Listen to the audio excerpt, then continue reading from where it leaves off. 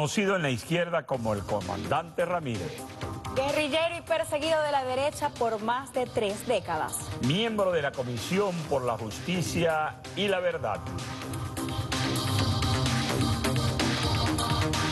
Bienvenidos, esto es Encendidos y hoy nos acompaña Fernando Soto Rojas. Bienvenido. Bienvenido. Bueno, bueno, buenos días. Y buenos días Venezuela. Buenos días Venezuela. Así es. Saludos porque estamos encendidos en estos tiempos de Semana Santa. Así es. Es el tiempo de, de pasión y de reflexión también. Buenos días, Fraso. Buenos días, Ana Rosa. ¿Cómo Qué está? hermosura. Esta mujer le enciende a uno por lo menos las pupilas. Extraordinaria. Y. Y comenzamos encendidos en la pantalla de Venezolana de Televisión, hoy miércoles, día histórico, 12 de abril.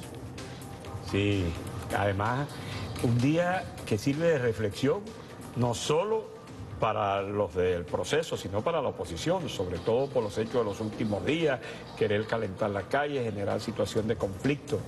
¿Qué recuerda usted de esos, mm, son 15 años ya, de aquel momento en que se pretendió eh, darle un corte, un zarpazo a la democracia revolucionaria? Bueno, yo era parte del Comando de la Revolución y secretario general de la Liga Socialista. No existía el PSUV en esa época. Recuerdo que ese día, el día 11 por la mañana, convoqué una reunión de emergencia del equipo político. Me reuní ahí en San Martín con Jesús Martínez, Piñati y otros camaradas. Y me llamó Humberto Vargas, me dijo, mira, viene una marcha, está en el este, eso está muy lleno y tal. Y están diciendo que van hacia Miraflores. Nosotros teníamos sospecha de que venía esa conspiración de hace tres años por los propios análisis políticos. Bueno, yo tenía una información muy, muy confidencial de que a las 4 de la tarde iba a reventar el golpe. Y me trasladé entonces, después de esa reunión, hacia Miraflores no fue posible. Estaba ya concentrada la gente frente al Palacio de Miraflores, no pude hablar con el comandante para infor- informarle directamente las cosas. Me iban a buscar otro compañero y dije no. Pero estaba ahí con María León y dije, bueno, María León, aquí en este sol brillante, a las 4 de la tarde, arranca un golpe. Yo me voy a preparar la fuerza de esta situación. Porque yo sé que si a mí me agarran, yo no voy a ir preso, a me van a fusilar inmediatamente. Eh, no tengo ese nombre ni esas cosas y tal. Y eso fue lo que hice inmediatamente. Empecé a organizar la fuerza. Yo tenía un plan de, de defensa, de, de dividir la organización en tres, en tres, en tres golpes. Un, lote en oriente, en el centro y hacia occidente. Y empezamos, bueno, se dio el golpe, pasó todo lo que pasó. Y el siguiente día, el día 12, yo estaba ubicado en, en Guarena, Guatire, y Jesús Martínez lo tenía en, en- el oeste de Cali. Había un, un silencio de verdad. Pasé por el 23 de enero, había un silencio tremendo. El- había la, la gente estaba como a la expectativa de lo La que calma había. chicha, lo. La calma chicha, pues. Eh. Sin embargo, ya hacia la tarde me llama un amigo, un trabajador de la CanTV, y con una palabra que no se puede decir por aquí, me dijo, mire, está pasando un mariquerón, una cosa. ¿Y por dónde viene la gente? Le viene por Petali. Pero como de pueblo, sí, está llegando, yo dije, nada. Si la gente del este, del este está movilizada, esto significa que todo está terminado. Me fui a buscar, a tratar de, lanzar la gente hacia Miraflores, porque ya Nora Castañeda, Liz y Nava estaban concentrados, como eran una figura más política y con capacidad de mucho más movilización, hacia Fuerte Tiuna. Y traté de buscar a, a Dina Bastida, que era vicepresidente de la República, para que entrara con más figura y cosas esas. Bueno, total que llegamos ahí, pusimos a Tare William, lo metimos hacia el Palacio Blanco y esperar pues la situación. Yo, yo sabía que era insostenible. Yo cuando escuché esa, esa alocución de Carmona, de disolver los poderes públicos, de desconocer la constitución, este fascismo puro, esto es intolerable pues. Pero yo antes había pasado por el 23 a las 5 de la mañana y le había dicho a mi familia, bueno, tienen cinco minutos rápidamente para tomar una decisión. Y no, nos vamos contigo y tal, cerramos el 23 y bajamos. Cuando voy bajando, un nieto, el primer nieto, Vladimir, me dice, abuelo, ¿y qué tiempo dura esta emergencia? Yo le dije, 30 años o tres días, ¿eh? preparando para largo plazo. Bueno, cayó, a, los pocos días andaba por el 23. No, es que el abuelo dijo que eran tres días. Le dije, no, yo, yo dije 30 años o tres días. Ahora, fíjate, ¿qué, qué te indujo pensar, qué, qué te dio el olfato de que todo esto venía ya por salir de Chávez darle un golpe de Estado? Oye, por ¿Intuición? una, primero una intuición, porque vi un silencio del día 12 en la mañana.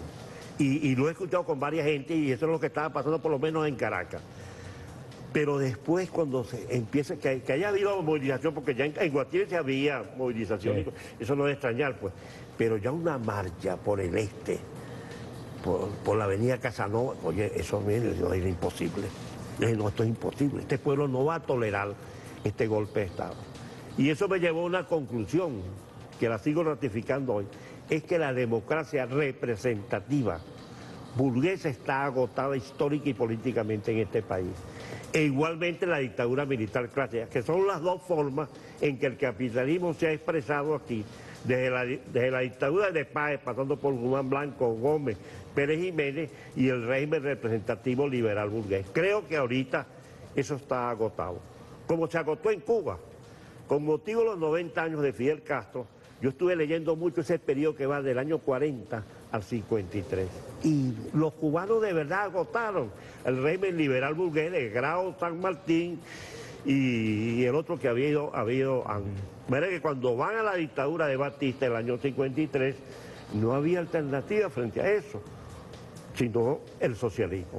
Es la vieja bandera de Prío, de José, Jo- José eh, ¿cómo llama? Este, este, este socialista venezolano del Tocuyo, Pío Tamayo. Pío Tamayo. Pío Tamayo. Pío Tamayo, antes de morirse, en el 1934, en su última carta, dijo, hizo un llamamiento a los y las socialistas, no se decía las socialistas porque no había esa, esa definición así, se decía que había que construir el socialismo con la libertad, con la ciencia, con la poesía y con la belleza. Ahora, en estos momentos que vive Venezuela, hoy en otro abril, ahora la frase de la salida, ¿cómo lo percibe usted? Porque ahora las fuerzas externas, todos los enemigos se manifiestan expresidentes, nos dan hasta horas, como el señor Arias de Costa Rica y todo esto.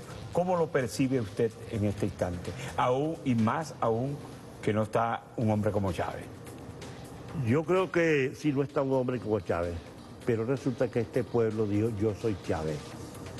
Y yo recuerdo que cuando ganó el presidente Maduro, que fue por cierto una buena decisión del presidente Chávez, hicimos un acto, aquella movilización el día 10 de enero para la juramentación, que no estaba el presidente porque estaba en Cuba. Yo vi toda la gente que decía yo soy Chávez. Y hablé con varias periodistas, mira, esta gente que está hablando así, esto es alboleo. Digo, esto es alboleo. Y es nada. Quedó sembrado la conciencia de Chávez. De manera que lo que ha pasado, la transición histórica de Chávez a Maduro, eso nunca había ocurrido en la América Latina. Y aquí se hizo pacíficamente. Por eso, cuando esta gente otra vez está planteando, la, la salida fue trágica. 43 muertos, más de 800 heridos.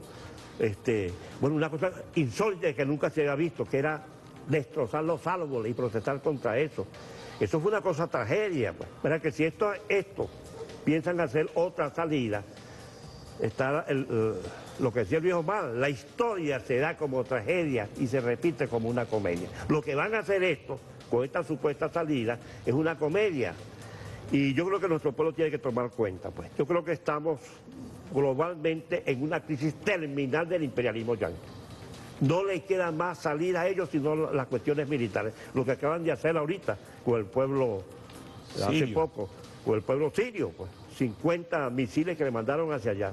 Están desesperados. En, medio de una crisis tremenda estructural que está el capitalismo que se expresa en, el, Sudamérica con esta huelga general que se acaba de dar en Argentina y con lo que está pasando en el sur de, de- de Europa. Pues se está desintegrando Europa. Pero Venezuela es el centro revolucionario mundial porque aquí se conjugan dos grandes contradicciones. La contradicción imperio-nación, imperio-humanidad, que nos viene de la resistencia aborigen, y la contradicción capital-trabajo. La una tiene salida en la construcción de la República Bolivariana de Venezuela como base de resistencia articulada democráticamente a los pueblos de la región y del mundo. y el socialismo como el horizonte y la perspectiva para la humanidad. Justamente sobre el plano internacional. Vamos a hablar, cuando regresemos de la pausa, sobre el rol de la OEA en 2002 y el rol actual. Oye, Ya regresamos.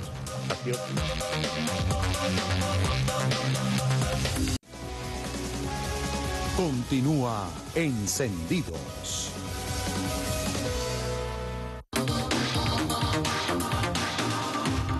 De nuevo abril, de hecho tenemos ahí en nuestro fondo que está circulando abril. ¿Qué pasó? ¿Cuál fue la- el rol de la OEA en ese golpe de Estado?